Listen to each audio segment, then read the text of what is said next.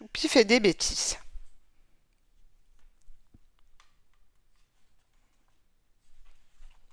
Choupi joue au ballon dans le jardin. Papa, regarde comme je tire loin. Mais bim, le ballon atterrit parmi les jolies fleurs de maman. Papa n'est pas content du tout. Oh non, Choupi, tu as écrasé toutes les fleurs. Va plutôt jouer à l'intérieur. Choupi entre dans le bureau.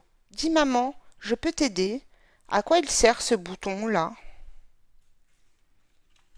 Choupi, tu as effacé tout mon texte. Je suis très fâchée. Va jouer ailleurs. Choupi monte voir sa petite sœur. Fanny, réveille-toi. Tu joues avec moi? Choupi s'amuse bien, mais quand maman arrive, elle est catastrophée. Choupi, qu'est-ce que tu as fait à Fanny? Tu es vraiment insupportable aujourd'hui. Pour se faire pardonner, Choupi décide de ranger un peu. Allez les peluches, c'est l'heure du bain. Plouf, plouf, papa entend du bruit dans la salle de bain. Il est très très en colère. Choupi, j'en ai assez. Allez, file, et je ne veux plus t'entendre.